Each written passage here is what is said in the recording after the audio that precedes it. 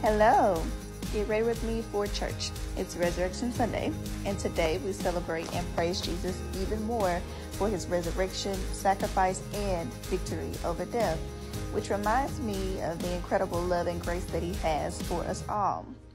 And as we believers know, today isn't just about Easter eggs and bunnies, it's about celebrating the ultimate triumph of good over evil, the light over darkness, and life over death.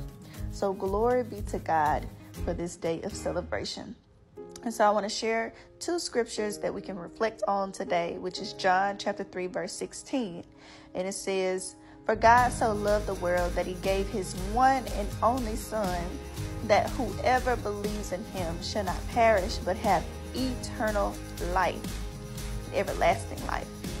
And this verse it just encapsulates the essence of Christianity, emphasizing God's love for humanity and the sacrificial nature of Jesus Christ's death on the cross. And it highlights the central message of salvation through faith in Jesus Christ, offering eternal life to those who believe in him. In another scripture it says, Romans chapter 5, verse 8. It says, But God demonstrates his own love for us in this while we were still sinners, Christ died for us.